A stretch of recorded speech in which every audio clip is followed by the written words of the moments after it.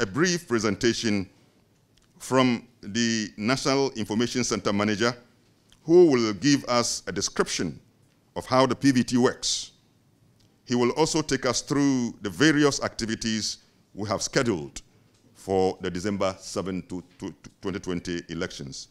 Finally, I'd want to say a big thank you to our funders, USAID, Star Ghana Foundation, UK Aid, and the European Union for their unflinching support in ensuring peaceful, free, fair, credible, and transparent election through the work of CODEO. Champions of democracy.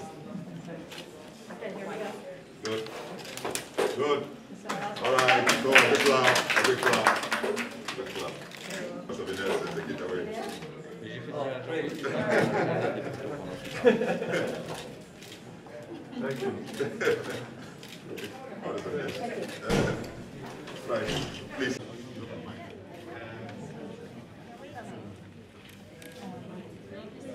Well, that. Okay. The data been. Santos mentioned five uh, reports that have given That is being sent in by your observers. And you're supposed to do that. And there's a time schedule for all of them. And that's how we're able to process our data.